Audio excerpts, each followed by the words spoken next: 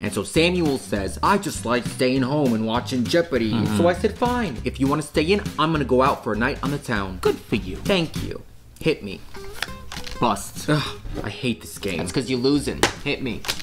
you bitch. Pony up those dimes. Let's go. Hey, Deborah, what about you and Glenn? What about him? You just never really complain about him. What is his secret? What secret? I just don't give a shit. Oh, come now. Come now, what? Hit me.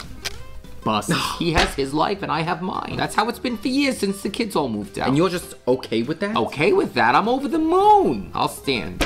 21. Pony up, harlot. Thank you. Well, I don't want to have a separate life. Why not? I married this man so we could have a life together. That's for a limited time. Maybe for you, Deborah. Maybe for me. Just because you're living separate lives with Glenn doesn't mean that I want to live a separate life from Samuel. Well, where is he right now, Ethel? Hmm? Hit me. Damn it. So, did anyone hear about Beth Shemansky? Is she dead? No, worse. Worse. Her and Al are getting.